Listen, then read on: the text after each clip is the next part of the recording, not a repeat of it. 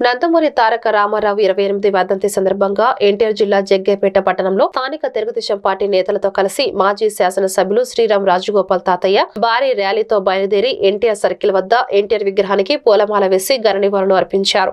ఈ సందర్భంగా ఆయన మాట్లాడుతూ ఆంధ్రప్రదేశ్ రాష్ట్రంలో ఎన్టీఆర్ మొట్టమొదటిసారిగా అన్ని కులముల వారికి ముఖ్యంగా బడుగు బలహీన వర్గాల వారికి తెలుగుదేశం పార్టీలో ఉన్నత పదవులు కల్పించారని ఆయన చేసిన కృషి ఫలితంగా ఈనాటికి బడుగు బలహీన వర్గాలు తెలుగుదేశం పార్టీ పార్టీకి అండగా ఉన్నాయన్నారు ఈ కార్యక్రమంలో వివిధ హోదాలలో ఉన్న రాష్ట్ర జిల్లా నియోజకవర్గ మండల పట్టణ తెలుగుదేశం పార్టీ నాయకులు కార్యకర్తలు పెద్ద ఎత్తున పాల్గొన్నారు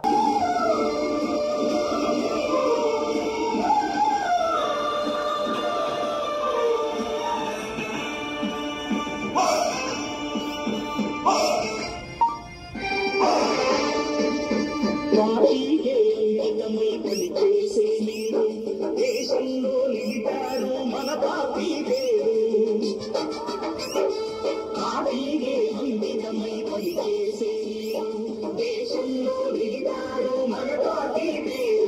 మారుమూల గ్రామమైన మహానగరమైన బాధ్యతతో క్రమశిక్షణతో వెలిగాను ఆశయాలు పండించే జీవనదులు మీ సేవలు. మీరే మన సౌధానికి పునాదులు.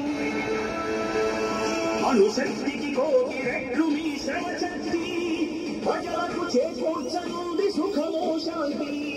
ನಂದಮೂರಿ ಆಶಯ ರಥಸಾರ ಚಂದೀರೇ ಚಂದ್ರರಾವು ಸ್ವರ್ಣಾಂಧ ಕುದಿರ್ಮಾತನು ನೀರೇ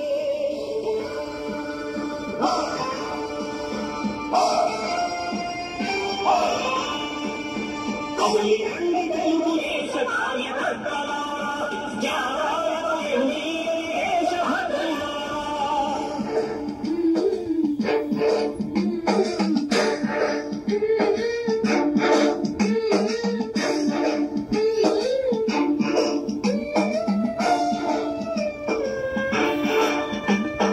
மகனுடைய பாட்டி கை பிடிச்சு